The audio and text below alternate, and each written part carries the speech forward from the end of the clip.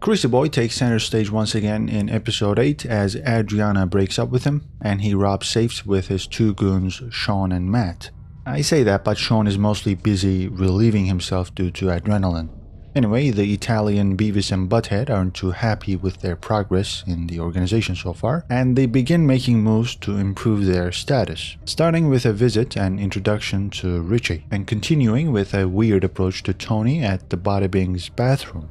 The big boss berates the two knuckleheads for striking up a dangerous conversation there, as the place could be bugged by the feds, frustrating the duo even further. But the final nail in the coffin is Furio's rather ill-mannered collection of Tony's 10% cut. During this exchange, Furio even takes 1k for himself, and the two associates simply have enough. Their concerns might be legitimate, but the steps they take to alleviate those concerns is so moronic that words can't do them justice. Here is their genius idea to create their own path. Executing Chris on behalf of Richie as Richie doesn't like Chris for a variety of reasons, one of which is the fact that Chris mistreats Richie's niece, Adriana. They go after Chris outside a diner, with Sean firing off three shots before Chris can hit back. Chris is lucky because Sean forgets to unbuckle his seatbelt, and that's how Chris is able to deliver a lethal blow to Sean. And then he forces Matt to run away like a little girl. Chris is badly injured, but at least he is still alive. Matt decides going to Richie and explaining the situation to him would help him, but Richie is completely bamboozled. He was unaware of all of this, so he chases Matt away with a baseball bat. By this point, Chris had apologized to and proposed to Adriana, and she said yes, though she is devastated to hear the news. Tony is similarly affected, wondering how this could happen to Chris just when he truly committed himself to the mafia, and he even took steps to start a family of his own with Adriana. They might have their differences, but Tony does love Chris, which is why he's worried sick that Chris might not make it out alive.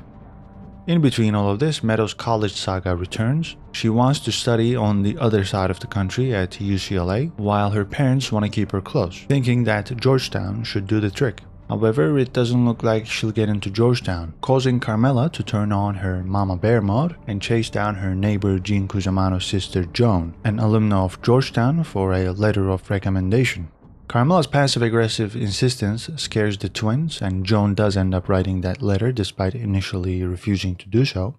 And also during this storyline, Meadow receives a letter from UCLA advising her to resubmit her application with new documents, and this letter is first found by her mother.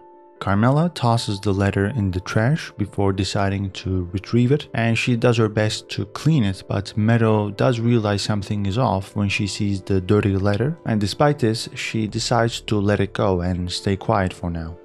Lastly, we have the Jacket Gate. This is a storyline that begins with Tony requesting Richie to help Beansie, who Richie crippled at the start of the season.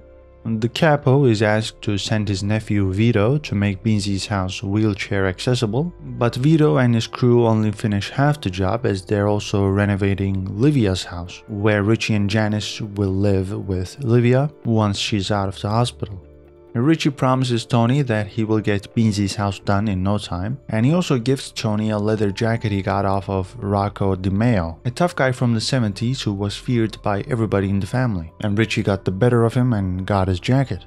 Let's just say Tony doesn't share the same admiration for this piece of clothing, probably not due to the jacket itself, but because it's a gift from Richie. And Richie is surprised multiple times throughout the episode because Tony doesn't ever wear it. And Richie begins to question his loyalty to Tony when he brings some food to Carmela as another sign of goodwill, and he sees that their Polish cleaning woman's husband is wearing the jacket. Richie gets so angry he looks like he'll burst a blood vessel, and this certainly will not help the rocky relationship of Tony and Richie. Richie did try to make amends, but they weren't reciprocated. That does it for episode 8. Leave your comments about this episode down below. Like the video if you enjoyed it and subscribe for more TV show breakdowns. Take care and see you in the next video.